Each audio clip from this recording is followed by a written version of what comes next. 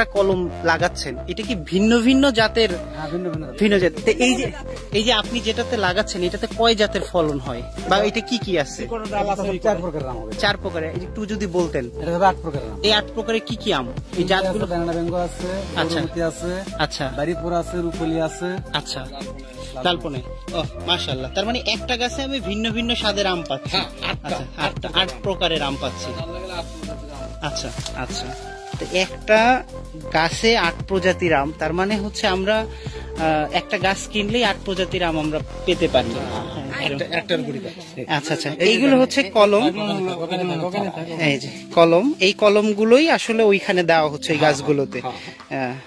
আঙ্কেলের নামটা একটু? মাহফুজার মাহফুজুর রহমান। আঙ্কেল তাহলে কি এই নার্সারিতে কি হিসেবে দায়িত্ব আছেন এবং কোন গাছগুলো আপনি পরিচর্যা করেন? সবসময় আমরা কাটিং এর কাজ কাটিং এর কাজগুলো করেন কলমের কাজগুলো করেন। সেগুলো কি শুধু এই আম গাছের না অন্যান্য সব ধরনের কলমের? কমলা লিচু মালটা আচ্ছা আচ্ছা। মানে থাই পেয়ারা যত প্রকারের আছে ফলজ গাছ আছে সব প্রকারের আচ্ছা একটা অবান্তর প্রশ্ন যদিও হয় তারপরেও একটু করি। ধরেন আপনি মালটা গাছের হচ্ছে চারা যদি আপনি আম গাছের সাথে আপনি কলম দেন এটা কি হবে কিনা? হবে আচ্ছা কেন হবে না? এটা মানে যেরকম মানুষের একটা ব্লাড গ্রুপ আছে হ্যাঁ হ্যাঁ হ্যাঁ।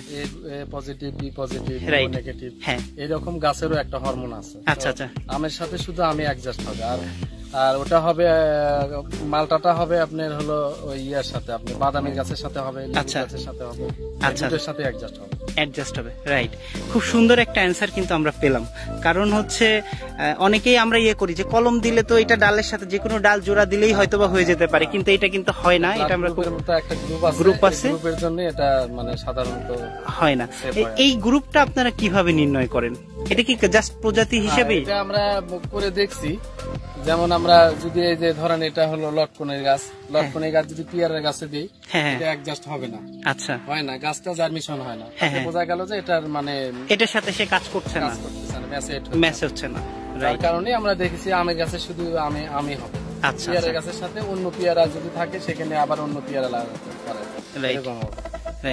একটা প্রশ্ন একটু করতে পারি যে এই যে ধরেন যে আটটা প্রজাতির গাছ এখানে আছে ধরেন এই আম গাছ এগুলো আপনারা কেমন? মানে কীরকম দাম? একটা যদি কাস্টমার আপনাদের কাছ থেকে নিতে আসে কেমন দাম হয়? রেঞ্জটা যদি একটু বলতেন। মূলত আমরা ঢাকা শহরের জন্য প্রসেস করতেছি। রাইট ঢাকা শহরে মানে বিভিন্ন জাতের আমগুলো দেখলে পারে ওরা মানে আকর্ষিত হয়। আকর্ষিত হয় একটা গাছে পাঁচটা সাতটা দশটা আম আসতেছে আমরা এক- এক জায়গায় পাইতেছি। হ্যাঁ হ্যাঁ। তাতে ওরা ভালো মনে করবে তাতে ওরা দুই চারটে বেশি লাগলেও বেশি মনে করে। মনে করে না। তাতে মানে গৃহস্থ বা নার্সারির মালিক হ্যাঁ।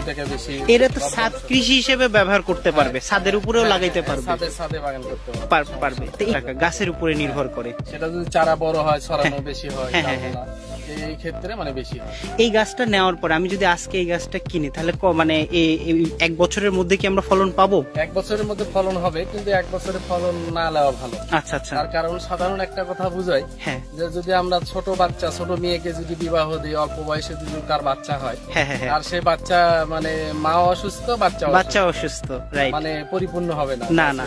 অবশ্যই না। কারণে যদি আমরা এই গাছটা থেকে এক বছর পরে আমরা ফল নিই। তাহলে দেখা যাচ্ছে যে গাছটার পরিপূর্ণ বয়স আসছে তখন ফল নিলে গাছের সমস্যা হবে না। হ্যাঁ। যার কারণে এক বছর বা দুই বছর গ্যাপ দিলে পরে গাছটা স্বাবলম্বী হয় ভালো হয় তাতে। আচ্ছা আপনি এই নার্সারিতে কত বছর আছেন আঙ্কেল? আছি প্রায় তিরিশ বছর। আলহামদুলিল্লাহ তিরিশ বছর আছেন। আঙ্কেলের সাথে অনেক কথা হলো। আঙ্কেল অনেক বিষয় আমাদেরকে জানালেন। তো ধন্যবাদ। দর্শকরা আপনারা দেখতে পাচ্ছেন নার্সারিতে আমাদের বিভিন্ন ভাইয়েরা কাজ করছেন এবং কলমের কাজগুলো করছেন।